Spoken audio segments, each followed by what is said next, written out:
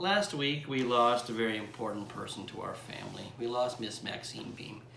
Maxine was almost 99 years old and she's been an icon in this sport ever since she walked into that first time in the ring.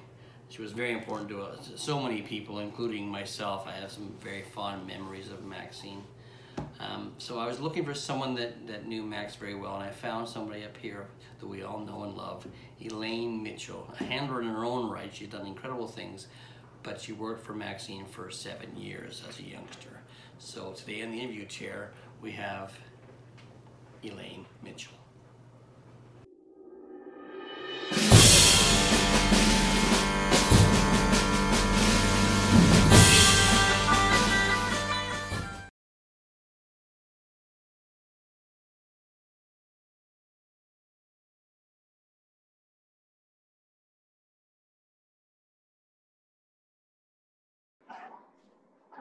Hi, everybody. Today we have Elaine Mitchell on the interview chair. And if anybody didn't know, Elaine was a longtime assistant of the famous Maxine Beam. How are you today, Elaine? I'm fine. Well, how are you doing? I'm good. It's good to see you. It's good to see you. Long time no see you. I know, yeah. All right. Well, you're comfortable. Are you ready to begin? I'm ready to go. Okay, before we start into, uh, I want to talk about Max. But first, I want everybody to catch up on you. Tell me how you got into dogs, Elaine. Well, I grew up on a farm, so there was lots of dogs, horses, pigs, cats, what it, what name it, and I always loved it. And when I was young, we used to go into the sportsman show. In Toronto. Um, Where was your farm? No, though in Prince Albert, Saskatchewan. Okay. And because my dad was an avid sportsman, as was I. And uh, the dog show people always had a big display there to advertise the upcoming dog show. Okay. And that's where I met Bill Dawson. Oh, Bill Dawson. Yeah. yes. Back in the day. Canadian yeah. judge. Yes. So then when we moved into the city, uh, every time there was a dog show. Which city is this? Prince Albert, Saskatchewan. Oh, right into Prince Albert. Okay, sorry. Okay. We moved into town, and whenever the dog show came, I was a total annoyance to everybody was that was there. Um, I'm sure people like Pat Tripp and Paul Boer and the likes could have like killed me, but nonetheless, I hung around and annoyed them. How and, old were you, Elaine? Oh, I was probably 13, 14. Okay. And then um, when I went to high school, I started taking driving lessons, and I took driving lessons not from, but with a lady called Mary Oliver. And she said, "I have Maltese. Do you want me to come and come and help me brush them?" And I said, "Oh, okay." So that's how that affiliation started. and then a couple of summers, I went to work at a kennel in Calgary and they had an assortment of dogs. They had Irish setters, they had Vizslas, that was their main breed. Um, they had the odd cocker. Um, they had some Puli, and they were refugees from Hungary. And he, yeah, and he was rather from the royalty, I think. And when he came over here, he made a living training hunting dogs, and it was really educational. And I worked there for two summers, and that was how I got my first purebred dog, an Irish setter. Oh, wow, good. yes, which is my favorite breed. I'm just too old and tired to run with them now. okay, so what happened so, from there? So I got the Irish setter, and Mary Oliver and I started going to dog shows and took my old Irish setter and a couple of Maltese, and we did pretty well, you know, as well as could be. Um, the first show I showed my Irish setter at, I went fourth in the group. Oh wow! And that's, that's you know, that was bad because it was like hooked from then on. Oh yeah, as if I hadn't already been. But um, so then Bill Dawson knew that I was really, really interested in dogs. So he said, Why don't you write to this lady? She comes up on the Okanagan circuit every year. And so I wrote to Maxine Beam. and she and she said, Come out and meet me on the Okanagan circuit and we'll see how you do. So I went out there and she had this old pet dog called Whitey Beam, who had more hair. He was a toy poodle, more hair than any standard poodle you could imagine. Maxine was big on hair. and so she put me to brushing Whitey beam, which I did religiously every day. And I guess she thought I'd be all right. And um, so she couldn't take me right then, but she sent me to work in a kennel for Don and Eileen Berlant in Portland, Oregon. They had boxers and they had lovely boxers that went back to Bang Away. And um, so I spent a year there and went, then I went to Maxine and the rest is history. I want to hear all about that history. so any, anyway, off I went to Maxine's and it was culture shock for the little farm girl from Saskatchewan, I can Sure. tell you. so where Um, where was Maxine? Maxine was in Fort Worth, Texas. Okay. And for the first couple of years or three years, I lived beside a grooming shop where her friends had a pet grooming shop. So I learned to do a lot of pet grooming stuff and stuff like that there between helping Maxine out on the weekends and then going going out to her kennel, which was run by her friend. And um, I learned to do like show poodles. And Ed Biven taught me to shave poodle feet. What year was this? re- oh my God. When did I go down to work for Maxine? It was 19. I got out of, out of high school in 64. So it would have been 65, 66. So, I was and then I, pardon? You were one. I one. was one. um, and uh, so I worked for her for seven years, and it was an education. Oh, I'm sure. It was an education like people don't get now.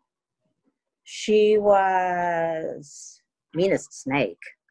Um, I cried the whole first three years, and everybody said, "There, there, it's okay. She'll get over it," and she always did. and but I learned to do things right. You know, Yeah. um, there was no whining or saying I can't or whatever. Um, you did it and you did it right. And you couldn't quit because you'd like kill you or sell you to another handler or something, you know. So I'd be there crying my eyes out, brushing poodles, you know. And of course, to Maxine, every hair was sacred. And if she was coming along back to the setup or back into the grooming room and there was hair in the brush, I'd have that hair out of the brush and in my pocket so fast. I'm sure if you thought I never brushed a hair out of the dog. So, So okay, so what from?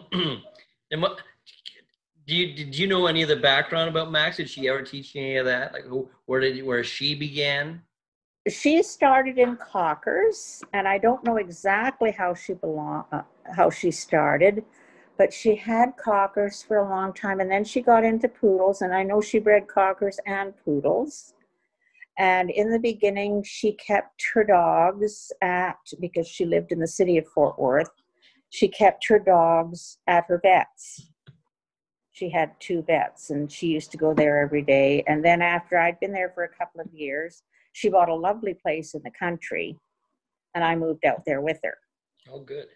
So, yeah, so that was good. So, um, You you mentioned um, when I when I brought this up to you, you you mentioned you mentioned Clara Alford to me. oh, stupidest mistake ever of my life. um, Hang on, a and sec- hang on a second. I gotta I gotta get. Maxine and Clara were really, really, really close friends. Um, they would set up together at shows and. Before we start the story, can you just explain who Clara Alford was to people that don't understand? Clara Alford was the Queen of Pekingese at that time, practically the Queen of the toy group. Yeah. She won the group. She won the group at the Garden with the with the Venable's um, Pekingese Chik T'Sun of Caversham. She won the uh, best in show at the Garden. Yep. She won the group at the garden with a chihuahua whose name I can't remember, but everybody knew Chick the Son. Oh, for sure. He was. He He was actually had some fif- he was Canadian ties too, as well. Yes, absolutely, to Bill and Nigel. And um, anyway, um, Maxine or um, Clara only showed little dogs, but before I went for, to work for Maxine, she showed a lot of big dogs. She loved boxers, showed lots of them, and showed shepherds. She loved shepherds too, and I she showed. Yeah. yeah, and she showed shepherds for Lang Skarda. Oh wow. So Lang, Langscarda became very near and dear to me because he was always saving me from some disaster. he would always say, Don't do that. It won't go well. Maxine won't like it. so, um, anyway, Mac, uh, Ed, or Lang was always very, very kind to me. So, Let's go back Anyway, to Clara. Finish yeah, back to, Clara Cla- back to back to Clara. I'm easily sidetracked. um, one time Maxine chose to not go on the Florida circuit. And she said, Well, Clara's, Clara's looking for somebody. Do you want to go with Clara? Well, I was terrified of Maxine, but I was even more terrified of Clara. Um, Clara was Navajo, and her husband Al, who was a deer, used to be um, a rum runner in Oh. back in the back in the days when Oklahoma was dry, and then when they opened it up, Al was unemployed, so it was up to Clara. But um, when Clara got mad, clear the decks. So I wa- I was like petrified, and so I opted to not go, which was probably the stupidest thing I ever did in my life. Yeah. you know? And and she really was a kind person but i hadn't been down there that long and it was just a little bit overwhelming. But when clara died she left all her her jewelry. She was famous for her navajo jewelry. She had necklaces. She bra- had bracelets. She had belts and it was worth a fortune then i can't imagine what it's worth now anyway, she left it all to Maxine, and Maxine's house was robbed, and that was the closest I ever saw Maxine come to cry because she really, really loved Claire, and that meant so much to her, that stuff. Yeah. So, anyway, I hope it burns a hole in the skin of the people that have it now. okay. so, any anyway, but but we had lots of good times with Claire and lots of laughs. And I went to I went to visit them at their house one time with Maxine, and Al was sitting in his chair, and he says, "You see that picture up there?" And I said, "Yes." And it was one of these typical Indian pictures with headdress and feathers and the whole hoo-ha. And he looks at me and he says, "That's the meanest Indian that ever lived." And I looked at him like, and he said, "That's Geronimo," like I should. of course, I'd heard of Geronimo, but Of course. but you know there were so many characters back then you Mhm. know before the akc said we must you know be like little cookie cutters So t- can can you um t- you touched on Lang? Can you t- can you Yeah. touch on Lang and Max's relationship at all for me?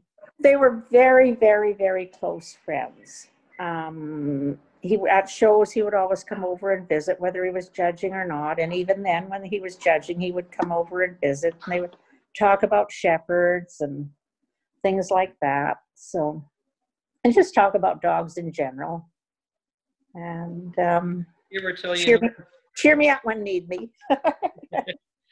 Did Max ever tell you about her mentors who were really important to her that, that brought her into dogs? No, um, Forest Hall was one, Mhm. and there were some fellows that showed for Forest Hall, and I cannot remember their names, but I think, you know, she followed them about a lot.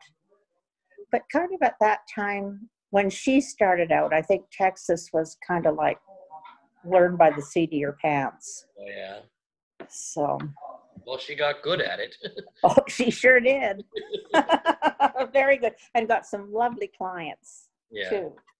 So, well, they were lo- they were lovely because if they weren't, they wouldn't stay long. She never showed Pekingese because she didn't like the Pekingese people, which was why she no, which was why uh, which was why she says, "Well, I like the breed, I just don't like the people," which is why she wanted me to go with Clara to learn Pekingese. For sure, yeah.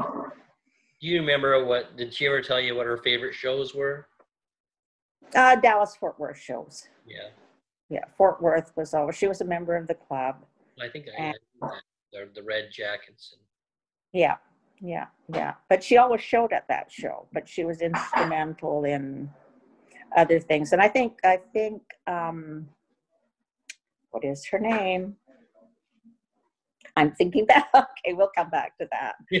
Um, oh, what is her name? That um, Well, when I- Dorothy Nichols. Dorothy Oh, Nichols. Dorothy. Dor- yeah, yeah, yeah. She and Dorothy, she and Dorothy Nichols were good friends, and um, Another character. My God. Oh, absolutely. And so much fun, you know. I didn't she- uh, realize until you told me that they both did the, the circuits in BC. I didn't realize. Well, uh, Maxine did the circuit in BC, which was where all the California handlers came up. So I met them before um, we went on the Texas circuit. And Dorothy Nichols used to come up on the Saskatchewan circuit. Oh wow, Saskatchewan. Yes, and she had standard poodles and she showed them both in obedience and in conformation. So that was, but that was before I really sort of knew who Dorothy Nichols was. She was just one of these other people I followed around. So let's go back. Let's, let's I'm gonna bounce around a bit. Okay, Your men, okay. your mentors, anyway. Who are your mentors? Obviously, Max was. Obviously, Maxine and my parents who were farm, so they were animal people. And you learn pretty quick that as long as there was animals, there was no time off because they always came first. Um, who were some other people? Barbara Humphreys, of course. I worked for a short. I worked for a short time for Barbara. Um, in between other things, um, who else? I wrote on the list. Barbara Humphreys, Pat Tripp, Oh, and I worked. For Pat, I worked for Pat Tripp for a little bit. did- now did you tell me earlier that, that Max and Pat were quite close as well? Max, Max, and Pat were very good friends. Again, very tight. And um, Some of these new viewers or, or listeners might not remember who Pat Tripp is. Can you just give us give us a quick rundown? Pat Pat Tripp was a handler from Vancouver, BC.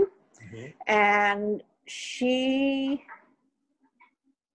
was one of the top handlers of her time Anywhere. Uh, anywhere anywhere and and she was very powerful in the pacific northwest in the states and she was always at odds with the akc over something um, but nonetheless she did she did really really well well, two of her uh, most famous apprentices are Tim Brazier. yeah and and susan hillman who we all loved yeah and we all loved him Sure. So- they they were close. Had you I did so did you spend time with Pat as well then when you were working with Max? Um, no, when I worked with Max, I worked with Max, but Maxine would come up to judge every now and then, and she and Pat would get together and go to dinner, and oh, there you go. Yeah, yeah. So they all they always kept in touch. when did Maxine retire from handling it and and start judging? Oh boy, I have to remember that was when I came back up here to show Were you dogs. her until her retirement? Pardon? Were you working for Maxine until her retirement? Absolutely. If she was still showing, I'd probably still be working for her. because I'd be afraid to quit. but Mac, Maxine was always very kind to me in many ways, and she was one of the most loyal people you would ever meet in your life. Yeah. Um, every summer, she this was before the age of the big campaign. She would take the summer off, and she would send me up to Canada with the dogs that she'd start showing in the fall. So I had dogs to bring to Canada and experiment with that you know most people would never be able to get their hands on. Sure. So and that and that was really really wonderful. I got to try out everything I learned. And that was good for the dogs too, because they knew. Ab- uh, Yeah, absolutely. She always said, "Bring them back trained, there you go. trained and hairy." so so So you, what year did she retire? Do you remember that now? Eh, no, but I worked for her for seven years. I'm, I'm not good with numbers and years and stuff like that. It kind of all goes by, but. So you, did you keep in contact with her after, after you, after she Yeah, yeah, yeah. We would stay in touch from time to time. I'd phone her every once in a while to shriek about, you know, the judging of whatever, wherever. And she'd say, There, there, it's okay. They're not all geniuses, and you can't be accountable for how they point the finger. With Maxine, it was like very much a business. Mhm. You know you looked after them you trained them you made them happy you made them show you did their job judges were supposed to do their job and that was it. I was supposed to remind you about a story about Ramona Van Court. oh oh dear. Well one time when i was first down there You have to, you have to tell people who all these people are because yeah yeah yes ramona ramona and her husband were very very famous judges. And ramona was a bit abrupt. And i remember we were on the texas circuit which was a whole world in itself and came to dallas and fort worth which was like kind of the climax the two big shows. And we were in Fort Worth, and Maxine was stuck in something, and I had to show one of the poodle specials. And the drill is you always tell the ring steward and you tell the judge, the handler's coming. Can I please get to the end of the line? And everybody would say. Oh, pardon? and all the, yeah. and the judges uh, would all say, oh, that's okay, yada, yada, yada. So I went in, and I think Maxine might have not remembered who was judging.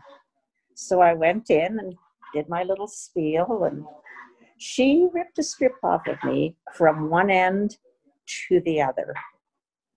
and I was showing this little toy poodle, bawling my eyes out. I mean, she was really evil and you should never speak to the judge and you shouldn't do this and you shouldn't do that i was like devastated that i'd made a faux pas and uh, maxine never did come so i had to show through which was probably 15 toy poodle specials at the time and um, between fort worth and dallas was margie transhen's big party well margie transhen was maxine's main client and we all went to the party and Mrs. Van Court was there, of course. Well, Maxine went up to her and absolutely shredded her. Don't ever you speak to my assistant like that. Whatever, whatever, whatever. I mean, in front of God and everybody, she told her how the cow ate the cabbage, pretty much.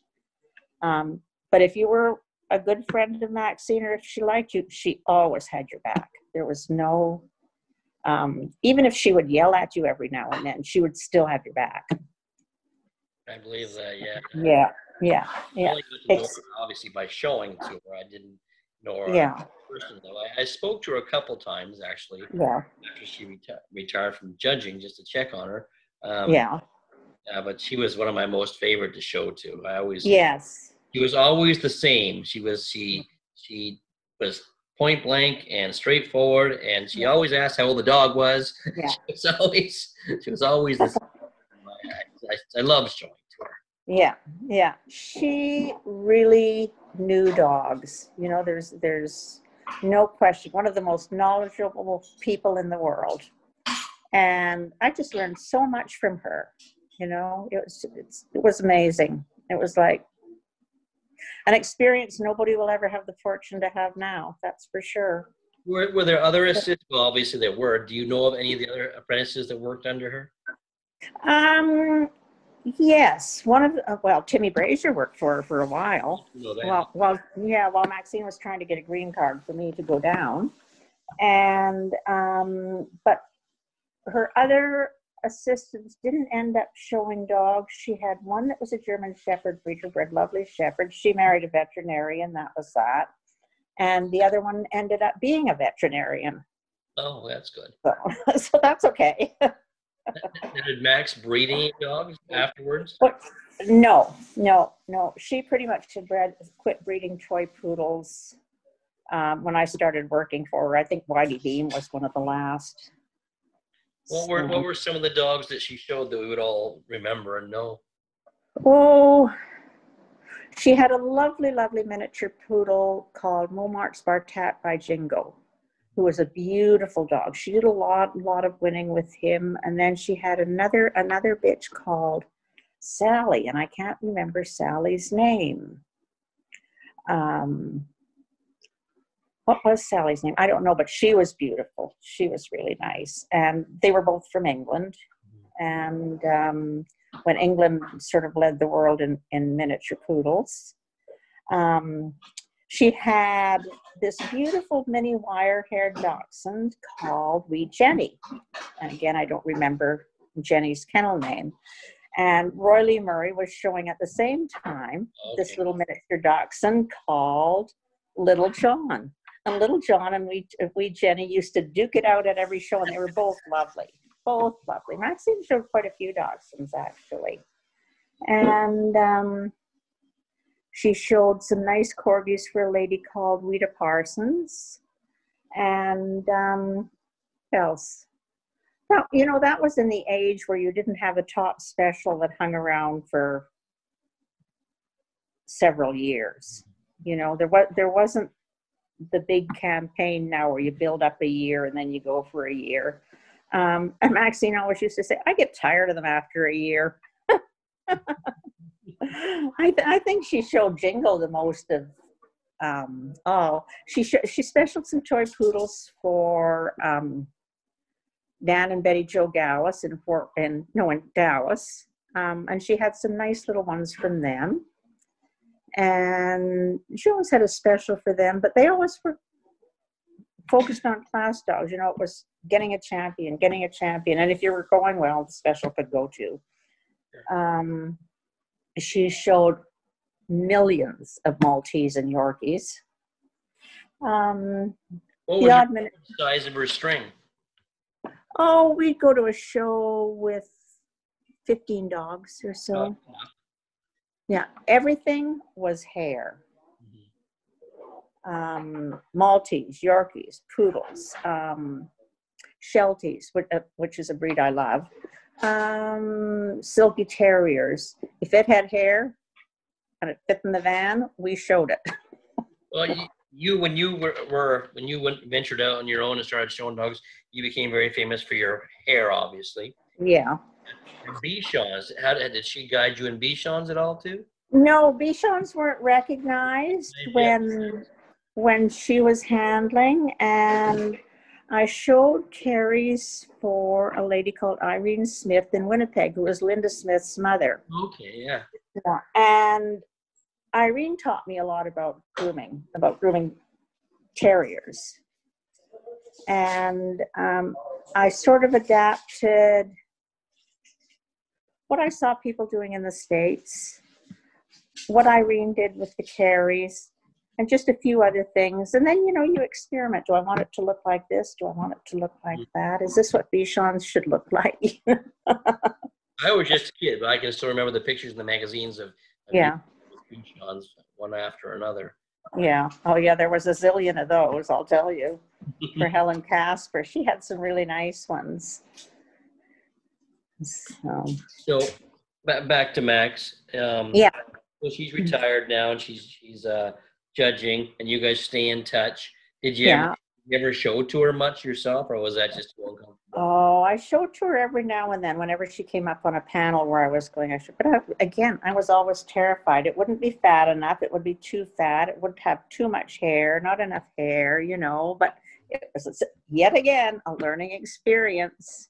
And I remember once I showed a Cavalier to her in the bred by exhibitor class.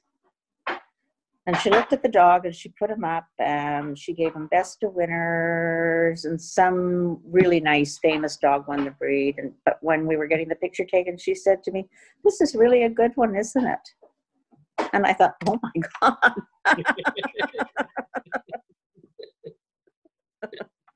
the biggest compliment in the world. and then I used to write for a magazine called Royal Spaniels, and I used to write an article every weekend, every month. And one day she said to me, I read your articles and I'm really proud of you. And I thought, And that would mean the world. Uh, oh my God, that meant the world to me. yeah. So unfortunately, with the passing of Max, was there'll be a lot of people reminiscing, and that's why I asked you about this. Right.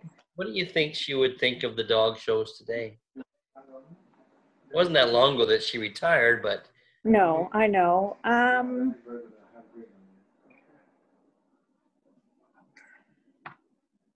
I would think, like the rest of us, that were, there would be a free, few really good ones and a lot of dreck. Um, she wouldn't have a lot of patience with the people who didn't put the time in and the effort in to make their dogs look the part and show the part she was the queen of conditioning. You know, everything had to be in the right way. If it was too skinny, its front was everywhere. If it's too fat, its front was somewhere else. She was front phobic. Um, it had to be in the right weight. It had to be in the right hair. You had to move it exactly so. Um, I think she would not be so impressed with a lot of the drama in the ring. She would like she would like people to show dogs. I used to love to watch well i watched her a lot. I used to love to watch frank sabella and pat tripp and barbara humphreys and their styles were all so different like frank was full of flair frank and pat tripp had both been dancers in their first lives and fat, Frank was full of flair. He could make them look lovely. He could make them showy, as could Pat Tripp.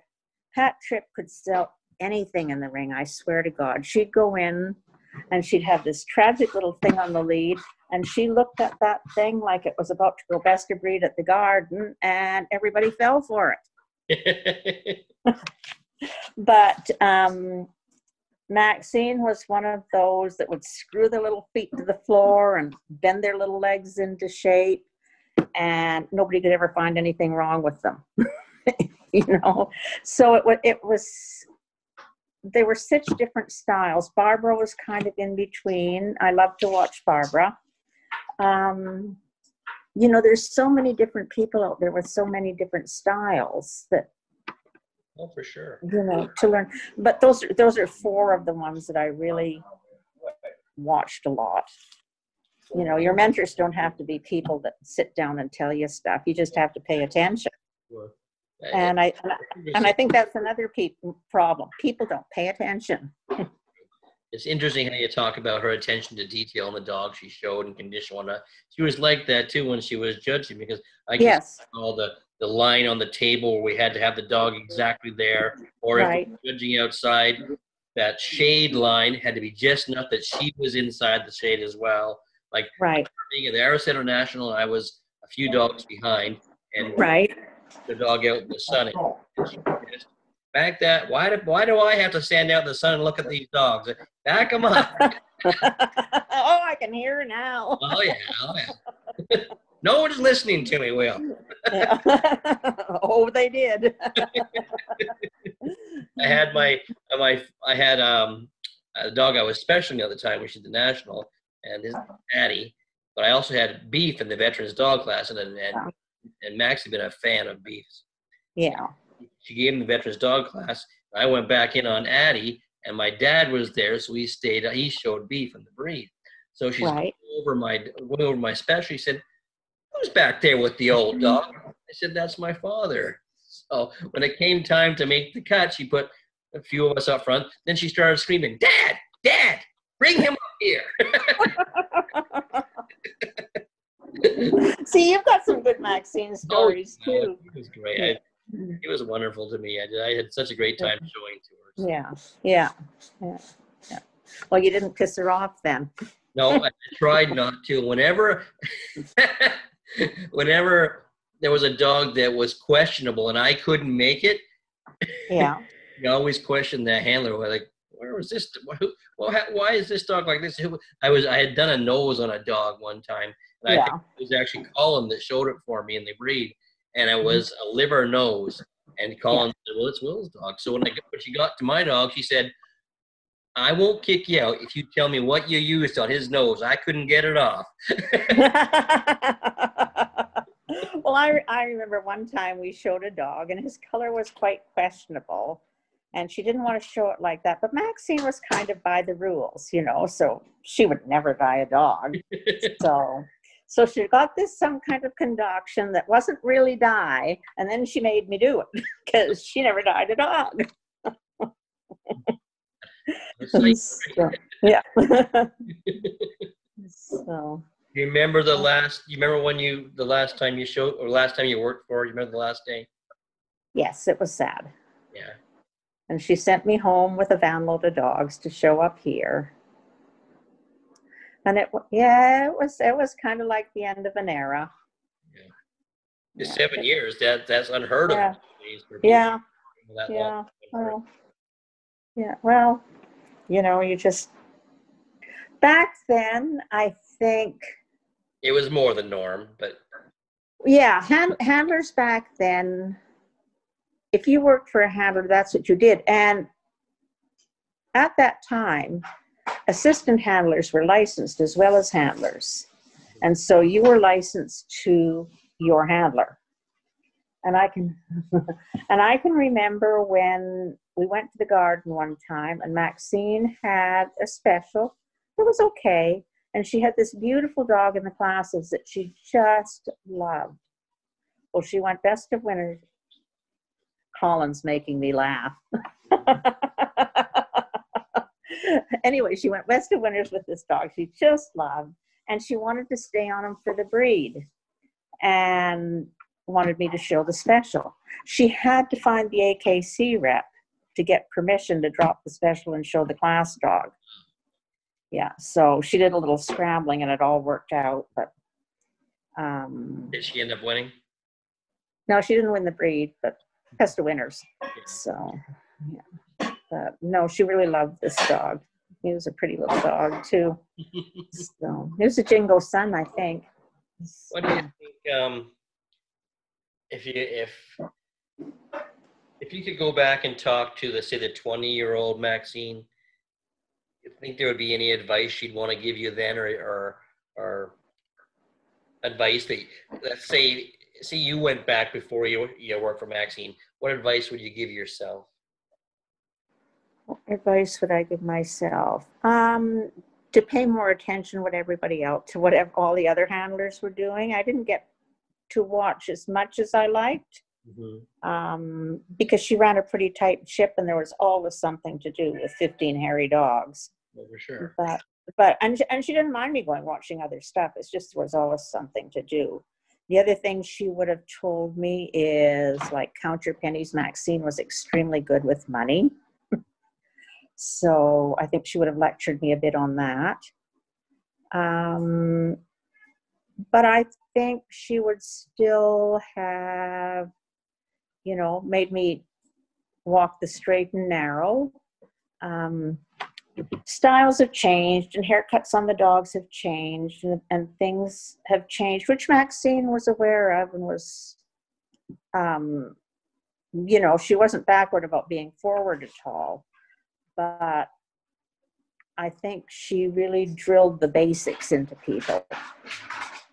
You know, and you had to do the basics before you could do anything else. You know, you had to learn to brush a poodle out before you could spray it up. Did she ever tell you what her favorite breed was? Um, well, she really had a fond spot for cockers, but I think toy poodles probably. What she showed then. Yeah, yeah, yeah. Well, it was a sad day when we lost Max. So. No, it sh- it sure was. You know, I mean, she was 99, but still, it was a shock. You know. Yeah. And we all have such good stories about her. So I imagine you have some great stories and great memories. yeah, yeah. they all. I just have to remember them all. I'm glad you shared some of them with us today. Though, Yeah, yeah. So, for that uh, your time. Um, Yeah. Is there any last thing you want to say about Max before we call it? Mm, Well, there'll just no, be nobody else like her. There'll be nobody else.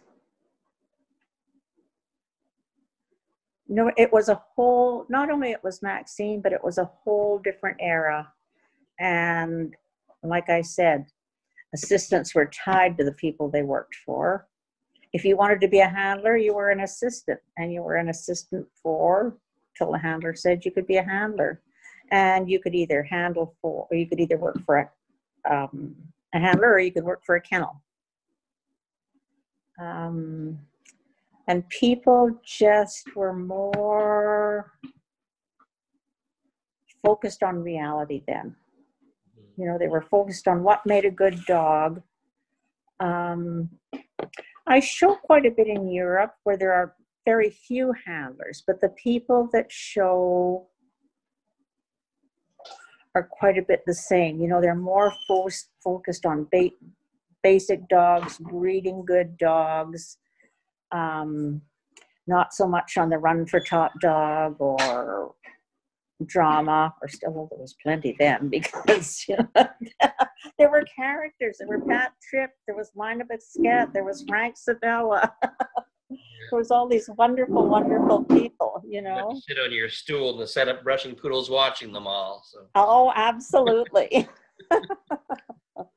so, but but no, I think I think it's a time that we won't see again, which is sad.